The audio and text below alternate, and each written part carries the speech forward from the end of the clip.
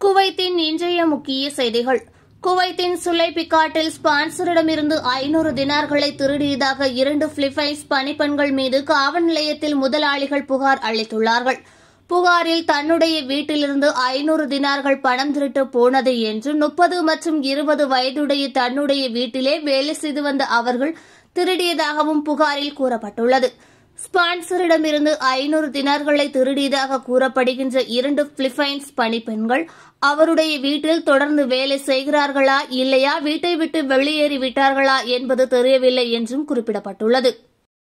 குவைத்தில் உள்ள இந்தியர் ஒருவர் வாகனத்தில் செல்லும் போது காவல்துறை அதிகாரிகள் என்று கூறி ஒருவர் வாகனத்தை நிறுத்தி தன்னுடைய கையில் இருந்த பணம் மற்றும் கைபேசி ஆகியவற்றை பறிமுதல் செய்ததாகவும் எதிர்க்கவே கத்தியை காட்டி உடைமைகளை பறித்து சென்றதாகவும் இந்தியர் குவைத் காவல்துறையிடம் புகார் அளித்துள்ளார்.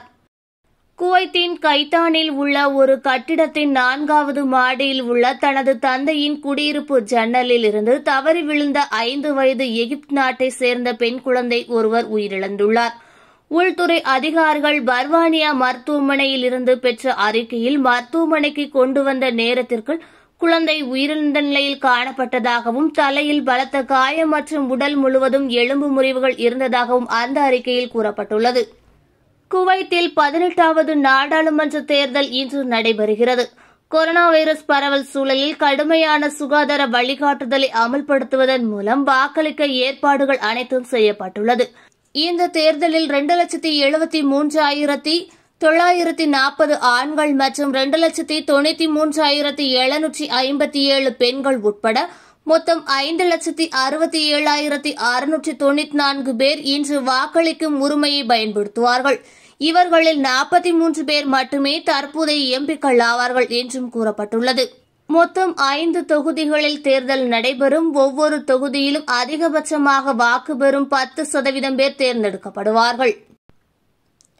குவைத்தில் கடந்த இருபத்தி நான்கு மணி நேரத்தில் புதியதாக முன்னூற்றி நாற்பத்தி மூன்று பேருக்கு கோவிட் நைன்டீன் வழக்குகள் பதிவாகியுள்ளது இங்கு மொத்தமாக பாதிக்கப்பட்டவர்களின் எண்ணிக்கை ஒரு லட்சத்தி நாற்பத்தி மூணாயிரத்தி தொள்ளாயிரத்தி பதினேழாக இருக்கிறது. இன்று மட்டும் புதிதாக நானூற்றி எழுபத்தி நான்கு பேர் குணமடைந்து வீட்டிற்கு அனுமதிக்கப்பட்டதாகவும் இங்கு மொத்தமாக குணமடைந்தவர்களின் எண்ணிக்கை ஒரு லட்சத்தி முப்பத்தொன்பதாயிரத்தி நூற்றி நாற்பத்தெட்டாக இருக்கிறது. இன்று மட்டும் புதிதாக இரண்டு பேர் மரணமடைந்துள்ள நிலையில் இங்கு மொத்தமாக மரணமடைந்தவர்களின் எண்ணிக்கை எண்ணூற்றி எண்பத்தாறாக இருக்கிறது என்று குவைத்தின் பொது சுகாதார அமைச்சகம் தெரிவித்துள்ளது.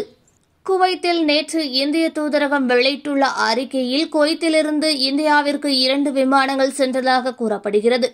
இந்த இரண்டு விமானங்களில் முதல் விமானம் இந்தியர்களுடன் குவைத்திலிருந்து விஜயவாடா வழியாக கண்ணூர் சென்றது. மற்றொரு விமானம் குவைத்திலிருந்து பயணிகளுடன் லக்னோ வழியாக டெல்லிக்கு புறப்பட்டு சென்றது. இவர்கள் அனைவருமே மகிழ்ச்சியுடன் தாயகம் திரும்புவதற்கு தூதர்கள் வாழ்த்துக்களை தெரிவித்துள்ளார்கள். ஓகே ஃப்ரெண்ட்ஸ் இது போன்ற நியூஸ்களை உடனுக்குடன் தெரிந்து கொள்ள எங்கள் ரேஸ் தமிழ் சேனலை லைக் பண்ணுங்கள் ஷேர் பண்ணுங்கள் கமெண்ட் பண்ணுங்கள் மறக்காமல் சப்ஸ்கிரைப் பண்ணுங்கள்